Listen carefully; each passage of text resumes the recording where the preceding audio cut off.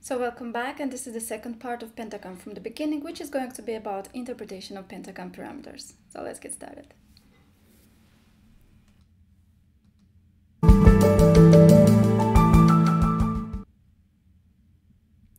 In this part, I will talk about factors of false findings, enantiomorphism, and 10 steps of corneal parameters interpretation.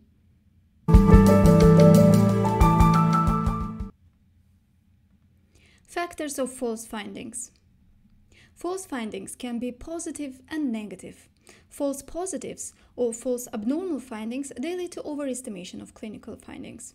False negatives or false normal findings they lead to underestimation of clinical findings. The most common reason of false findings are contact lenses use. As I already said at the beginning of the part 1 presentation, before any Pentacam examination, make sure that your patient stopped using contact lenses at least one week before uh, the examination. For example, this patient, uh, the image of the Pentacam you can see, stopped using contact lenses at the day of the examination. That's why anterior sagittal map shows this hot spot in the inferior sector of the cornea. However, elevation maps, front, back, as well as pachymetry map doesn't show any abnormalities. So this is another sample of the patient using rigid uh, gas permeable contact lenses. So A image, this is the immediately after removal of the lens. B image, 16 days after removal of the lens. And C image, this is the change in curvature over the 16 day period. Misalignment. There are patient error misalignment and examiner's error misalignment. Signs of misalignment. QS, abnormal, yellow or red, because normally it should be signed as OK. Keratometry stability. More than 0.3 diopters between captures is a sign of misalignment. Astigmatism dissociation. The normal difference between manifest astigmatism and tomographic astigmatism should be less than 1 diopter. Unusual pupil center coordinates. If x and y are more or equal to 0.2 millimeters.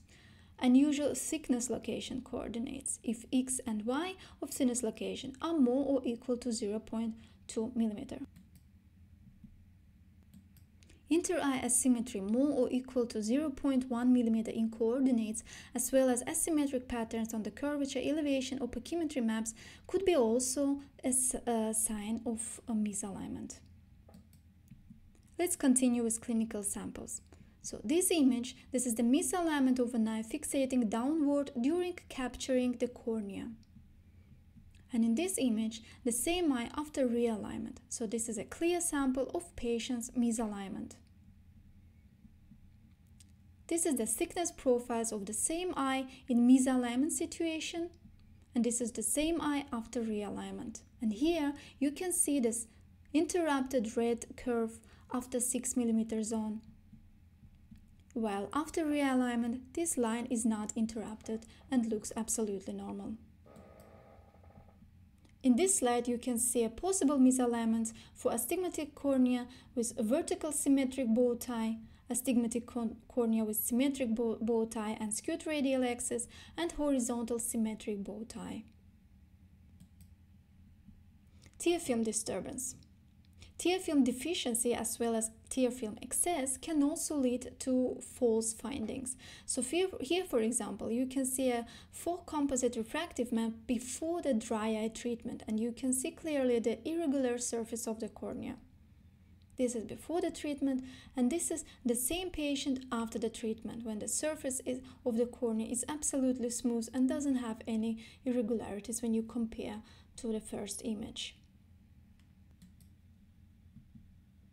Tear film excess. The common sign of tear film excess is blue meniscus on the corneal periphery inferiorly. So here you can see clearly the excess tear situation below. And this is a normal situation. Another reason of uh, false findings is large angle kappa or lambda. In this table, you can see a few angles which are being formed between eye axes. So angle kappa is being formed between visual axis and pupillary axis and angle lambda is being formed between line of sight and pupillary axis.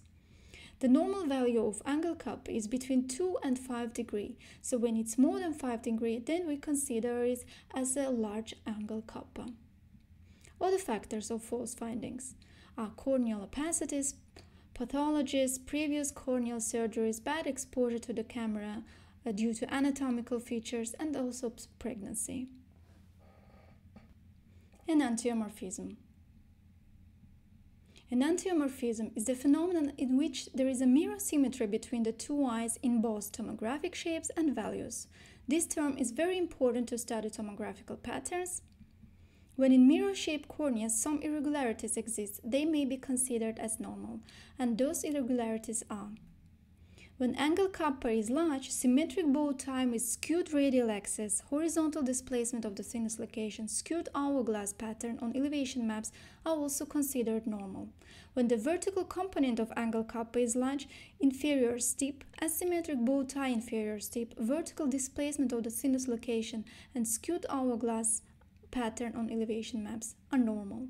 When both components of angle kappa are large, asymmetric bow tie skewed radial axis, vertical horizontal displacement of the thinness location, and again skewed hourglass are considered to be normal.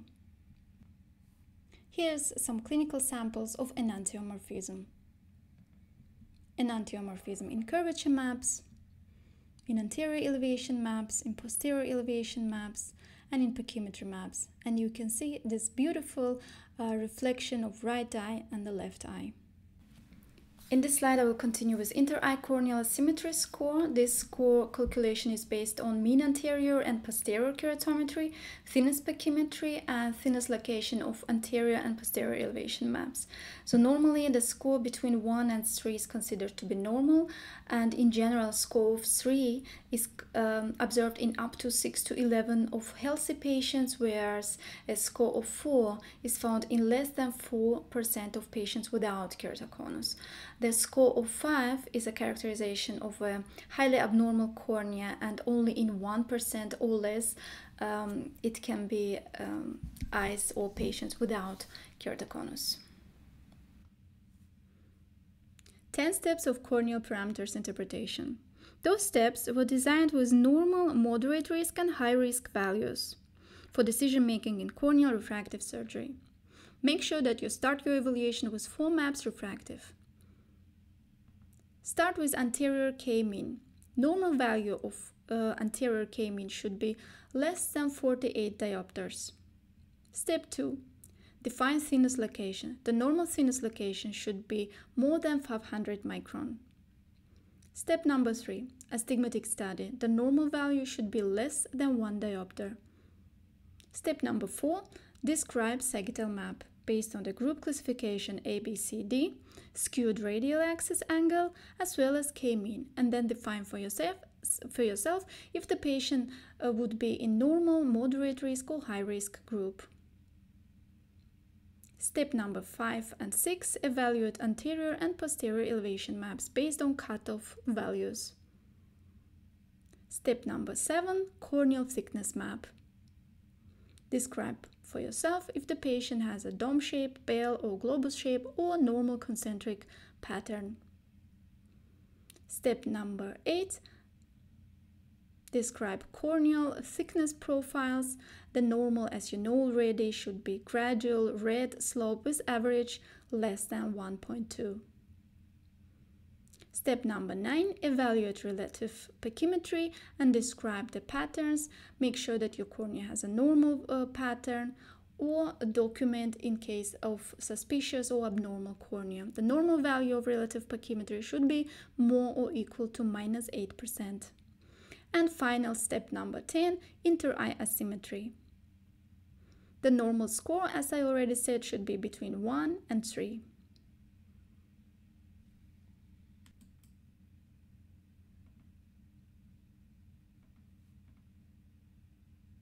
And in this slide, I summarized altogether all those steps in case if you would like to save it and use it in your clinical practice for better and faster overview.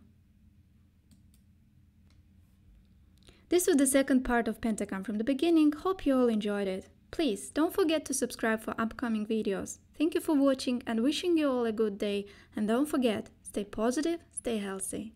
Bye.